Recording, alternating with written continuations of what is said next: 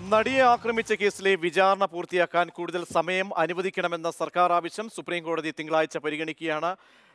ജസ്റ്റിസുമാരായ A M Khanwilkar C T Ravikumar എന്നിവരടങ്ങിയ ബെഞ്ചാണ് സർക്കാരിന്റെ ആവശ്യം പരിഗണിക്കുക. ബി ബാലഗോപാൽ നൽകും ഡൽഹിയിൽ നിന്നും വിവരങ്ങൾ. ബാലു ഈ കേസിൽ പുതിയ പുതിയ സാഹചര്യങ്ങൾ ഉണ്ടാകുന്നു. അപ്പോഴാണ് ഈ കേസ് പരിഗണിക്കാൻ തിങ്കളാഴ്ച ദിവസം സുപ്രീം കോടതി നിശ്ചയിക്കുന്നത്. ഹർജിയിൽ എന്തൊക്കെ കാര്യങ്ങളായിരുന്നു സർക്കാർ ആവശ്യമായി ഈ കേസുമായി ബന്ധപ്പെട്ട് ഉയർത്തിയത്? പ്രജിഷ പ്രജിഷ് പറഞ്ഞതുപോലെ തന്നെ ഈ കേസിൽ പുതിയ പുതിയ വെളിപ്പെടുത്തലുകളും മറ്റും ഉണ്ടാകുന്ന സാഹചര്യത്തിൽ വിചാരണ നടപടികൾ പൂർത്തിയാക്കാൻ കൂടുതൽ സമയം അനുവദിക്കണമെന്നാണ് സംസ്ഥാന സർക്കാർ സുപ്രീം കോടതിയോട് ആവശ്യപ്പെട്ടിരുന്നത്. നേരത്തെ ഫെബ്രുവരി പതിനാറിനുള്ളിൽ വിചാരണ പൂർത്തിയാക്കി വിധി പ്രസ്താവിക്കണമെന്നായിരുന്നു ജസ്റ്റിസ് എ എം ഖാൻവിൽക്കറിന്റെ അധ്യക്ഷതയിലുള്ള ബെഞ്ച് ഈ വിചാരണ കോടതി ജഡ്ജിയോട് നിർദ്ദേശിച്ചിരുന്നത്.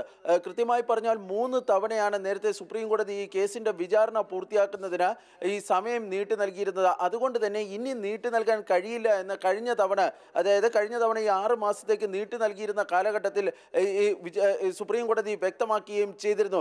ഈ ഇതുകൂടി കണക്കിലെടുത്തുകൊണ്ടാണ് ഇത്തവണ സംസ്ഥാന സർക്കാർ ഈ കേസിന്റെ വിശദാംശങ്ങൾ വെളിപ്പെടുത്തിക്കൊണ്ട് അല്ലെങ്കിൽ വിശദാംശങ്ങൾ രേഖപ്പെടുത്തിക്കൊണ്ട് സുപ്രീം കോടതിയിൽ ഒരു അപേക്ഷ രണ്ടാഴ്ച മുമ്പ് സമർപ്പിച്ചിരുന്നത്.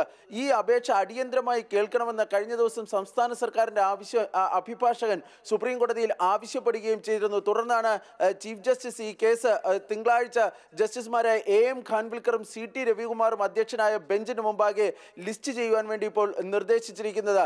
ഏറ്റവും സുപ്രധാനമായ കാര്യം ഈ കേസുമായി ബന്ധപ്പെട്ട് ഇപ്പോൾ ഉണ്ടായിരിക്കുന്ന പല വെളിപ്പെടുത്തലുകളെയും സംബന്ധിച്ചുള്ള വിശദാംശങ്ങൾ സംസ്ഥാന സർക്കാർ സുപ്രീം കോടതി ഇത് ആദ്യമായി അറിയിക്കാൻ വേണ്ടി പോകുന്നു എന്നതാണ് ഏറ്റവും സുപ്രധാനമായ കാര്യം. കാരണം എന്തുകൊണ്ടാണ് ഈ കേസിന്റെ വിചാരണ അവസാന ഘട്ടത്തിൽ ഇങ്ങനെ നീട്ടി നൽകേണ്ടത് എന്നതുൾപ്പെടെയുള്ള അതിന്റെ അതിലേക്ക് നയിച്ച സാഹചര്യങ്ങളെ സംബന്ധിച്ചുള്ള വിശദമായ ഈ കേസ് അന്വേഷണം അതായത് നിലവിൽ ഈ ഗൂഢാലോചന കേസുമായി ബന്ധപ്പെട്ട് രജിസ്റ്റർ ചെയ്തിരിക്കുന്ന കേസ് അതിൽ ബാലചന്ദ്രകുമാറിന്റെ മൊഴി അതിന്റെ വിശദാംശങ്ങൾ അതിനു പുറമെ ഈ കേസിലെ മറ്റ് വെളിപ്പെടുത്തലുകൾ അതുമായി ബന്ധപ്പെട്ട് ലഭിച്ച തെളിവുകളും ഉൾപ്പെടെയുള്ള കാര്യങ്ങൾ സംസ്ഥാന സർക്കാരിന് വേണ്ടി ഹാജരാകുന്ന സീനിയർ അഭിഭാഷകൻ തിങ്കളാഴ്ച സുപ്രീം കോടതിയെ അറിയിക്കുമെന്നാണ് ലഭിക്കുന്ന സൂചന. ബാലു ഈ കേസിൽ ഒരു ഡെഡ് ലൈൻ വിചാരണ കോടതിക്ക് മുൻപാകെ വെച്ചതിന്റെ സാഹചര്യം നമുക്കറിയാം. അതീവ പ്രാധാന്യത്തോടുകൂടിയാണ് സുപ്രീം കോടതി ഈ കേസ് കൈകാര്യം ചെയ്തത്. പക്ഷേ അതേസമയം അന്വേഷണത്തിന് മറ്റ് തടസ്സവുമില്ല. അന്വേഷണത്തിൽ പുതിയ പുതിയ വിശദാംശങ്ങളുണ്ട്. ആ വിശദാംശങ്ങളൊക്കെ തന്നെ സ്വാഭാവികമായും ബാലു സൂചിപ്പിച്ചതുപോലെ തിങ്കളാഴ്ച സർക്കാർ അഭിഭാഷകർ സുപ്രീം കോടതിയെ അറിയിക്കും. അങ്ങനെയെങ്കിൽ നിയമപരമായി നോക്കുമ്പോൾ ഇവരും ഉറ്റുനോക്കുന്നത് ഇതിൽ സമയം സുപ്രീം കോടതി നീട്ടി നൽകുമോ എന്നുള്ളതാണ്. അത് സംബന്ധിച്ച് നമുക്ക് നിയമപരമായി ഇതിനെ വിശകലനം ചെയ്ത് സാഹചര്യങ്ങളെ നോക്കിക്കണ്ടാൽ. പ്രജിഷ സുപ്രീം കോടതിയുടെ ഭാഗത്ത് നിന്ന് എന്ത് തീരുമാനമുണ്ടാകുമെന്ന കാര്യത്തിൽ നമുക്ക് ഇപ്പോഴും വ്യക്തതയില്ല. കാരണം ഇതിൽ സാധാരണഗതിയിൽ അതായത് കഴിഞ്ഞ മൂന്ന് തവണ കോടതി ഈ കേസിന്റെ സമയം നീട്ടി നൽകിയപ്പോഴും വിചാരണയ്ക്ക് സമയം നീട്ടി നൽകിയപ്പോഴും അത് വിചാരണ കോടതി ജഡ്ജിയുടെ ആവശ്യത്തിന്റെ അടിസ്ഥാനത്തിലായിരുന്നു.